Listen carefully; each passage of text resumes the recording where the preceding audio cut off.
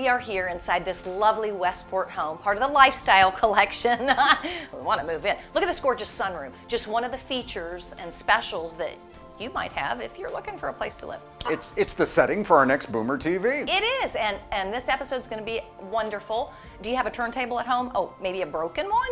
or a broken record. the turntable guy can fix it. You're going to meet him on Boomer TV. And we're going to drop the needle on Bokwa. Bokwa, yeah, it's high intensity interval training in the water, and you use a boke. You got to meet the guy who invented it. He's pretty cool.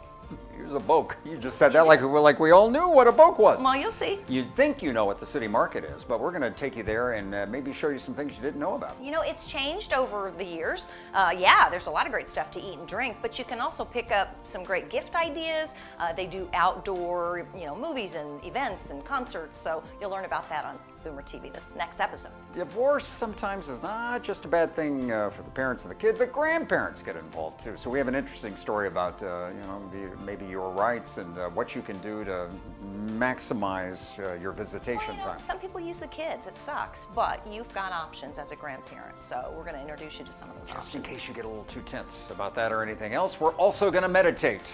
I know. I've, have you ever really done a no, I haven't. You know, I've done a little bit of yoga, but never really this deep meditation. But we've got an expert, and she is going to show baby boomers how they can use meditation for pain management, um, for just finding that peaceful place, and all sorts of things.